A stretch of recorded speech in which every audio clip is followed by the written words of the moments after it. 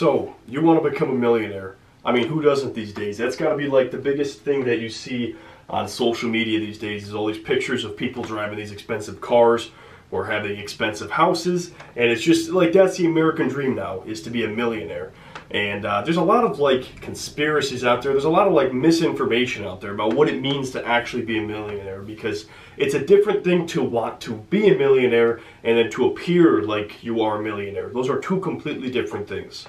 Now, um, before I get into this video, I just want to throw this out there to anybody because I know this is how people are sometimes. Um, personally, myself, no, I'm not a millionaire. I'm 21 years old. Um, but I would like to think that I'm on the path of becoming a millionaire because I'm doing all of these things that I have listed out here. And what it is that I do is I study millionaires and I learn from what they're doing because every single person that becomes successful leaves a trail of breadcrumbs and there's little things you can learn from each person.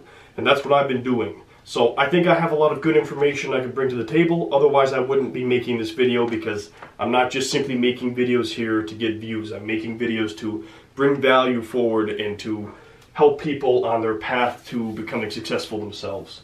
But becoming a millionaire is actually largely based on these two factors. That is restraint and discipline. So it's not so much about how much money you can spend, how big your house is, how large, how much money you're spending on your car. It's not about that at all. In fact, if you're focused on having cars and houses and toys, whether it's guns or whatever it is you want, uh, or expensive vacations, the lavish life, if this is what you're focusing on, you're never going to be a millionaire. You might appear to be a billionaire. Uh, you might have people thinking you're a millionaire, and if that's what you want, then go after that. But that's a separate dream than actually becoming a millionaire, somebody who's worth a million dollars. Having an expensive car and, and a mortgage that's huge and a lot of expensive toys does not make you a millionaire. But if you want to be worth a million dollars, uh, these are the things that you should be doing. I got 10 things here that I want to share with you guys. So the first thing here is to plan. Uh, you want to, your focus, um, oh sorry, I couldn't remember what I wrote here. A plan focuses you to take action, okay? Uh, if you were going to start a business, would you just fly in blind? Would you just say, okay, yeah, I want to start a bakery? I don't know. I don't know the first thing about a bakery, but I'm going to go ahead and uh, find a building and I'm just going to open up a bakery. Those are the businesses that fail. Uh, and and this, that's the same reason that people who don't have a plan for their finances, a plan for how they're going to earn money, they fail as well. They end up in debt or they end up not making any money. So just as you would a business, you want to plan out your own life. This makes you take action. This makes it so that it's not just a dream of yours. Because there's a lot of dreamers out there, guys. There's a lot of people who dream of becoming successful. People who dream of becoming a millionaire. And uh, if you're just a dreamer, you know, you're never going to take action. You got to have a plan to take action. You have to have a carefully outlined plan with a date and with a lot of factors in there that make it a real thing and not just a dream. So you want to basically figure out in this plan how much money are you saving, how much money are you spending, okay? And then you want to focus on what it is that you can control, which for the most part, at the very start, that is your expenses. I don't care if you're making $1,000 a month, all right? it doesn't matter. I don't care if you're making $100 a month, all right? I know that's a bit extreme, but you can still figure out what your expenses are and get them as low as possible. That's going to allow you to save more money. That should be your main focus, what you can control. And at the beginning, that's going to be your expenses. If you've screwed up in the past, let's say maybe you made some bad decisions, uh, you have, uh, you, you, know, you maybe you originally bought into that idea of buying millionaire status. You bought the nice cars, you bought the toys, and now you're in debt. Who really cares? There's nothing you can do about that now other than forget the past and work forward. Build a plan for the future. You know, even if you're in debt right now, you can still come back and end up having a lot of money. But if you let that define you, you will never get anywhere. So just say the past is the past we really can't control that. Let's figure out what we can do going forward. That should be your main focus. But like I said, guys, you want to run your life like a business. You want to have a business plan and you want to have a plan for your life. You don't just go in there flying blind, otherwise your business is going to fail and ultimately you won't be a very successful person. You want to look at your life as a business. If you had a business, would it be responsible for the business to spend a lot of money on things that you really didn't need? Likely you wouldn't be buying those things, but people do this in their own lives for some reason. This is the way their mind is wired. A lot of it has to do with what they see online, what they see on Facebook, all these people driving these new cars, all these luxury car commercials. They tell you that this is what you need to feel this type of way. And you don't need it. It's it's not the key to happiness. What you're what they're trying to sell you with those luxury car commercials is the is what you expect to feel when you drive that car. And those are always empty promises, guys. Just want to throw that out there. Uh, okay, so number two, step number two on becoming a uh, millionaire is your income. Because it is incredibly difficult to simply save your way to millionaire status. I mean, maybe if you spend 45 years and your uh, dream is to become a millionaire by retirement, that is very easily doable just by being responsible with your savings. But if you're trying to become a millionaire sooner rather than later, it's difficult to just simply save your way to millionaire status. So you have to start to increase your monthly income. So this is what I'm going to tell you guys, and this is actually something that um, this is he's kind of a controversial guy, but this is something that uh, Tai Lopez says. He says everybody's focused on making a million dollars. You're starting a million dollar business when you haven't even started a hundred dollar a month business. Okay, so start by figuring out how to make a hundred dollars a month. Okay, once you figured that out, learn how to make five hundred dollars a month, and once you figured that out, Learn how to make a $1,000 a month. Don't focus on starting a million dollar business because you probably have no idea how to do that. But could you figure out how to make a $100 a month? Most of us can. So start with that and then either scale that idea or come up with a new idea after that. That's some of the best advice I ever got, guys, I gotta say. Because that was always something that held me back. I was like, look, I wanna have a lot of money, I wanna be rich. But how do I start the next huge thing? It's like, why are you focused on that when you can learn how to make $100 a month learn things in the process, and then build from there. And it's so true, guys. So that's what I would suggest. If you want to get started with increasing your income, figure out how to make $100 a month and then move forward from there. So, but here's the trick, guys. If you're making $1,000 more a month and then you're spending another $1,000 a month, you're just breaking even. You're not working towards becoming a millionaire at that point. You're just basically raising your income and then raising your standard of living with it. You want your standard of living to stay the same while your income increases. That's the only way that you're ever going to get ahead.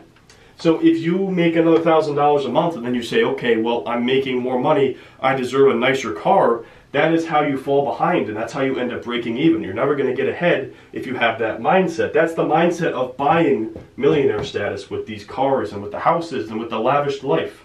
You can't have that as your focus. It has to be how to save more money and how to let your money work for you. Okay, so how do you go about starting a, a little side business or how do you go about starting uh, to get more income? So you could start a side gig, start a side business, you could educate yourself, that way somebody pays you more money for your skills. Um, you could invest and you could acquire assets. Um, I just want to throw this out there as a plug. If you guys have not read the book Rich Dad Poor Dad, that should be like the very first thing you do after you watch this video. Uh, that guy is a genius, and uh, that's one of the best books that I ever read. That was like the first personal development uh, book that I've ever read was Rich Dad Poor Dad by Robert Kiyosaki. So I would highly recommend that book for anyone looking to understand how to build long-term wealth. That book basically defines for you what is an asset, what is a liability, and it teaches you how to build your assets and how to avoid liabilities and how you can maybe afford that expensive car but by using your assets to pay for it. So that is one of the best books I ever read. I highly recommend checking that out if you guys are looking to learn more about um, saving money and working towards becoming successful. Number three is investment costs and taxes. Now I know there's a lot of bad, like people have a lot of, there's a lot of bad stigmas out there about millionaires and rich people. It's like, oh, the rich people, you know, they don't have to pay taxes. But the truth is, the rich people can afford the lawyers that figure out the tax loopholes. If we all had the money for lawyers that could figure out how to get as much money through the system without paying as much in taxes, then we could all do what these rich people are doing, but we can't afford the lawyers. The difference is these rich people can afford these lawyers that help them uh, not spend as much money on taxes as possible. That is like the biggest focus on millionaires uh, of millionaires is to spend as little money on taxes as possible. Keep as much of their earned money in their pockets as possible. And they're very good at doing this. So that's something you have to start to consider is how much money am I actually paying in taxes? So one of the first things you can do, and you can do this right now, you want to maximize your contributions to a 401k because that is tax deferred. Uh, that means you don't pay taxes on it until the age of retirement. The beauty of this is that with a 401k, you take advantage of compounding interest, and your interest is allowed to grow tax deferred. So the compounding takes uh, pay, uh, takes place faster. And then obviously with compounding, the more time you give it, um, the more it will grow. So the earlier you start with this, the better. So you want to first of all maximize your contributions to a 401k tax deferred. Second of all, you want to maximize contributions to a Roth IRA outside of your 401k. This is basically the principle of put away as much as you can tax free. Keep as much money away from Uncle Sam as possible. This is how you have to start structuring your brain, the things you have to think about. As far as your investing goes, you want to keep your investment costs as low as possible. So you want to try to trade less frequently and trade as cheaply as possible. Because every time you're paying investment costs, that's money coming out of your investment itself that isn't going to continue to earn money and earn interest and dividends down the road. So you want to keep those costs associated with your investments as low as possible. And then also you want to take advantage of any tax deductions. So don't be lazy when it comes to your tax returns. Don't just pay the taxes because it's going to take a lot of time to itemize stuff and figure stuff out. You got to take advantage of every tax deduction that you can and keep as much of your money as you can for yourself. Number four, income streams. So this comes along, this kind of ties in with um, income. But this is something people don't realize is that millionaires have multiple streams of income, not just one. Most of us have one stream of income, and that is our job. And that's all we have as an income stream, all right? Here's a couple of uh, facts here to throw at you. 65% of self-made millionaires have three income streams. 45% of self-made millionaires have four income streams, and 29% of self-made millionaires have five income streams. So that just goes to show they know what they're doing. They know you need multiple streams of income to ever build long-term wealth. And if you have one stream of income, it's going to be extremely difficult to just save your way to that millionaire status. So you have to start developing other streams of income by letting your money work for you at that point. So, like I said, that could be a side business, a part time job for the time being. It could be investing, it could be renting out properties, it could be building online income, building passive income. Passive income is really the best because that's money that kind of uh, that's that's something you don't actually have to put in the hours for you know? At first it does take a lot of effort to build passive income because a lot goes into it initially but then down the road it may become passive at a certain point to where you're just collecting the check. So those are the best income streams because then you're able to use your time to make money in other ways and that continues to earn you money without your involvement. So that's the best type of income to develop. A part-time job is probably the worst because you have to work every hour for the money that you're making, and that's kind of what you're trying to avoid. Okay, number five is to automate. So the, the number one thing here with this is to automate your contributions to a 401k and automate contributions towards your own savings, okay? You want to have it automatically come out of your account, automatically come out of your paycheck before you even have a chance to touch it and spend it on something stupid like cars, houses, toys, lavish life. You want to save your money. You want to pay yourself first before you spend your money on stupid stuff. Everybody has this problem where when you see more money in your account, uh, well, most of us have this problem. Even I have this problem. When I have more money in my bank account, I'm like, okay, you know what? Maybe I can go out and have drinks tonight. Maybe I can go buy that new shirt or clothes or whatever. You know, you end up buying stuff that you don't need. But if you put that money where you can't see it, you forget you have it. And then you're not going to be making those stupid purchases. But basically, the other thing that goes along with this too is you want to automate all of your bill payments to save time. Because I, I can't tell you how much time I wasted going in and making my car payment, going in and making my payments to my bank and like for my credit card that I have. Um, uh, and just so you guys know too, I don't have credit card debt. What I do, I actually made a video on this. Um, I put all my purchases on my credit card to earn cash back, and I pay the entire balance at the end of the month. That way, I get that free cash back. Because um, if you're paying interest on your credit cards, you're losing money. But if you're actually using credit cards the right way, you can make a little bit of free money that way. So that's what I do. But I was actually like going in and writing checks and giving them that check. And it's like, why are you wasting your time? Uh, you could be using your time making your money or doing something productive, and instead you're standing in line at a bank. So automate all of your payments. Number six is going to be investing yourself. So this is all about increasing your knowledge and learning from any anything you can possibly. Just consume knowledge. Just anywhere you see something and you're curious about it, ask that person questions. If you see a book and it piques your attention, read that book. The only thing I want to try to tell you guys to avoid is um, just useless information. So one of the biggest sources of useless information is like news headlines. So if you're just sitting there scrolling through reading news articles, um, unless you're reading like business articles because you're investing. I read a lot of business articles because I invest in stocks. So I read a lot of business articles and I follow up on company news of the companies that I've invested in just to keep track of where I think the stock price is headed.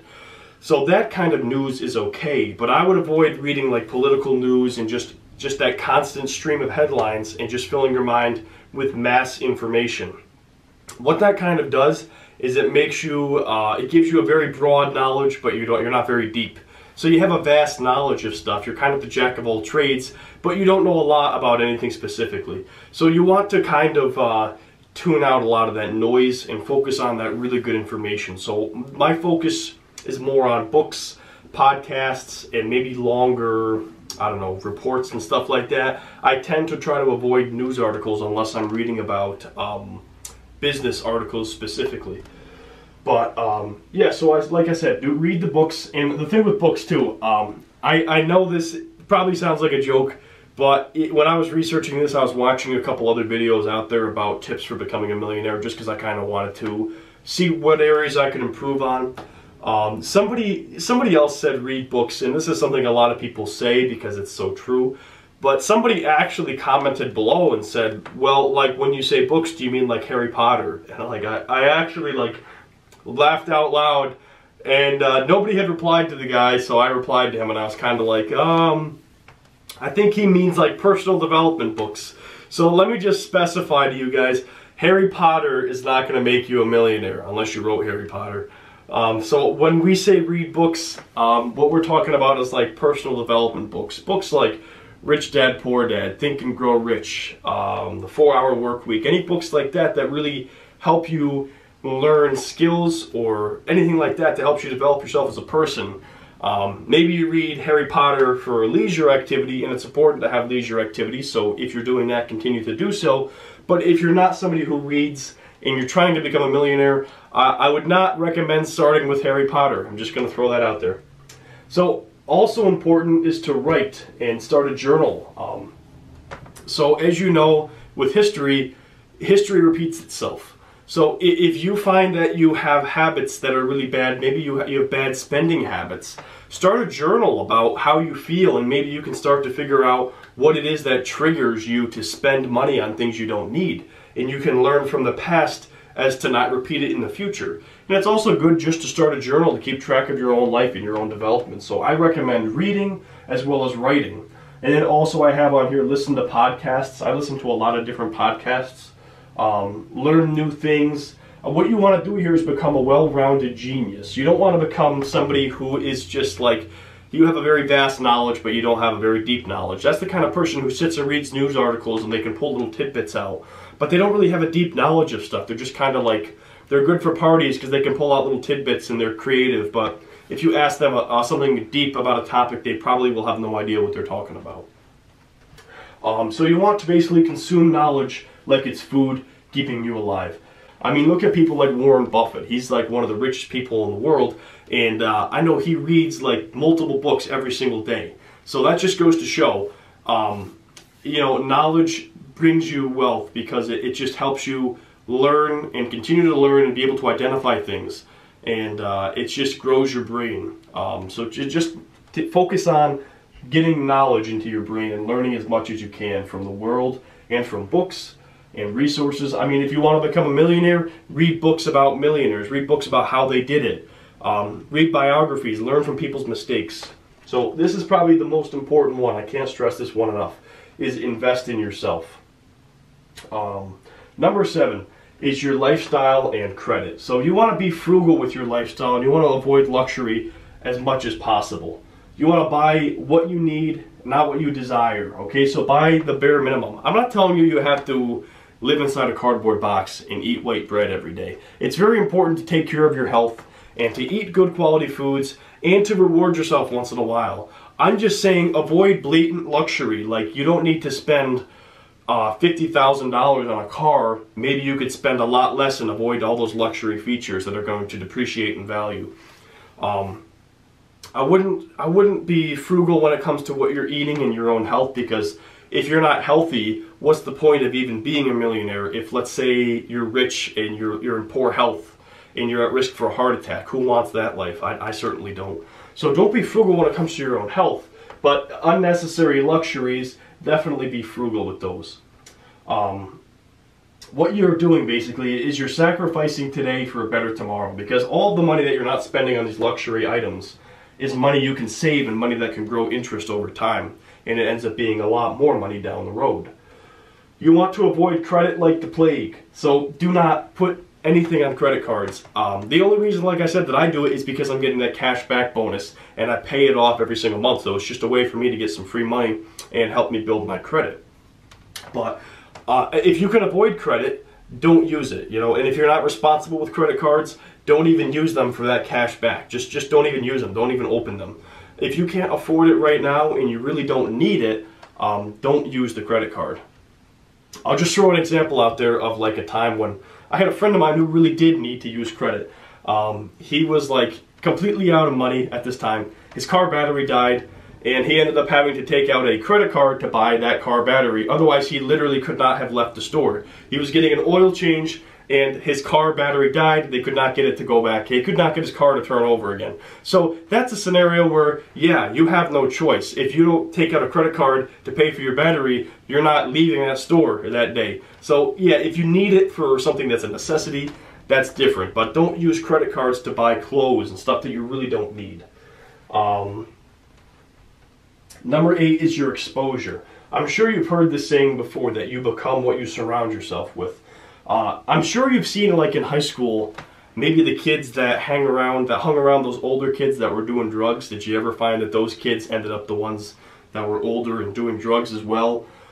You, you tend to become what you surround yourself with. And uh, if you surround yourself with successful people, you tend to become successful. If you surround yourself with people who are below you, uh, people who are not high achievers, you don't tend to be a high achiever either. You tend to fall where they are as well. So you want to surround yourself with people who are more successful than you, people who have more money than you. You want to surround yourself with success. If you're trying to get in shape, the best thing to do is surround yourself with people who are in shape so they can teach you and you are um, basically trying to keep up with them. That's what's going to help you get in shape. The same principles apply to saving up money and becoming wealthy. You want to remember this too, guys. Millionaires think differently about money than the middle class and the lower class do. So you, you want to ask a lot of questions and figure things out from them and learn from what they've done and what's worked for them. Number nine is to experiment. You don't want to be afraid of risk as long as it is well thought out and as long as you learn something from it, okay? One of my favorite sayings out there is there is no lose. You're either going to win or you're going to learn. And it's so true. I've I've made a lot of money and I've lost a lot of money, but every time I've lost money, I've learned something. So I don't even care about it. I mean, I'm not, I'm not saying go out there and like as an experiment say, okay, my experiment this weekend is I'm going to take a thousand dollars to the casino and see if I make any money. That's not learning. That's gambling. Okay. But if you really wanted to invest in a certain stock and you spent a lot of time researching it and you were like, yes, it's risky, but I really want to do this and try it out, that's a good idea because you're going to learn something. But going and just throwing money away and going and being like, okay, I'm going to go gamble and see if I learn anything, that's just stupid. Don't do that. But if you're actually going to learn from it, it's a good idea to experiment. Uh, I, what I say is that you want to treat your life like a science experiment. You want to try new things, and you also want to test your new ideas as quickly as possible. So if you have an idea, go all in, and if it doesn't work, nip it in the bud and come up with another idea. That'll help you come across to your big idea sooner because a lot of people don't realize this. I didn't realize this for a long time, but some of the biggest failures out there are millionaires in terms of the fact that they fail over and over and over and over and over again until they finally are right. So you want to just make sure you're failing forward. So if you have an idea and it's a complete terrible idea, just forget about it and come up with a new idea and learn as much as possible about it. Test it as fast as possible. If it works, Congratulations. If not, come up with a new idea. Don't let the past affect the future as far as saying, oh, I failed five times, I should just give up. Just keep pushing forward, keep testing new ideas, and treating your life like a human science experiment. Okay, number 10. Uh, this is one we already touched on, talking about rich dad, poor dad. This is assets versus liabilities. This is a pretty simple one. You just want to learn the difference between assets and liabilities, then increase your assets and decrease your liabilities. I'm not really going to get into this because I just I highly recommend that book, and I just want to throw this out there. I am in no way being paid by Robert Kiyosaki to push this book. I just this book was so beneficial to me, and it helped me realize a lot of the problems I had with my own finances. That I just recommend this book to anybody who asks me about books. It's generally the first book I recommend to people. Uh, there's YouTube videos out there that'll talk about assets versus liabilities that would, I'm sure, help you learn the difference between these two. But I just know there's a lot of good resources out there, and I don't think I can do it justice by talking about it here. So I'm going to just kind of point you guys in the right direction as uh, something you want to learn about to um, kind of like a point of interest here for you guys. But all right, that's pretty much all I got for this video. Um, if you guys enjoyed it, please consider um, dropping a like, and then feel free to leave me a comment as well if you guys liked anything, or if you hated the video, leave me a comment too. Um, if you have ideas for future videos, you can also leave those in the comments. And then if you are interested in being notified of future uploads, please consider subscribing. But uh, I thank you guys for watching this video.